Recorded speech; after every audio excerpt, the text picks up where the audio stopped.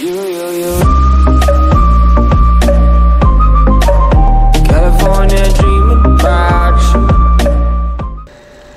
guys, what is up? It is Kaden here, and today I will be showing you how to get any picture you'd like on your background screen on your computer.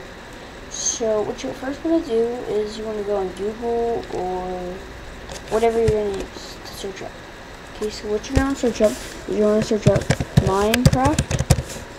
Okay, well I'm just to do Minecraft because like I don't know okay, so yeah, say you want Minecraft. So you want to search up.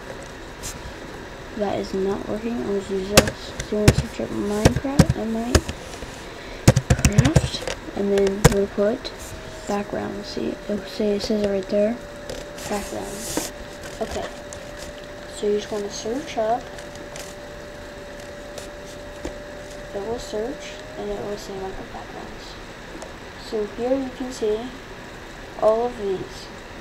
So I picked this one. So what you want to do is you want to click on it.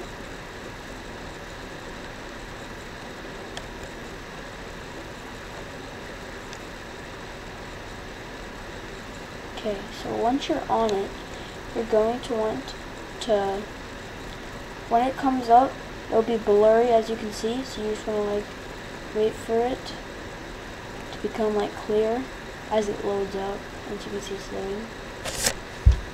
I am slow Wi-Fi, so this Wi-Fi's not that good.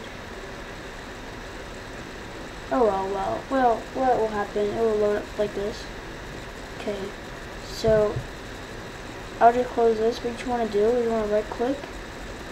Is you want to save that. You want to save as, and you want to pick what you want to save it on, like what file, and name it whatever you want or something. Okay, so you want to shut this. I'm gonna shut that, and then it'll take you to this.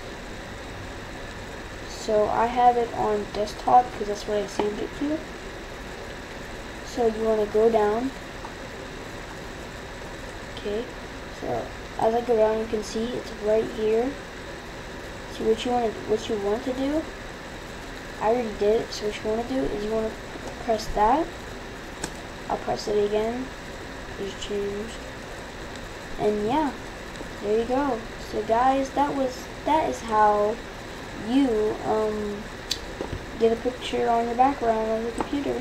So make sure you guys like if you like the video and maybe even subscribe. Make sure you guys stay swaggy and I'll see you in the next video. Peace.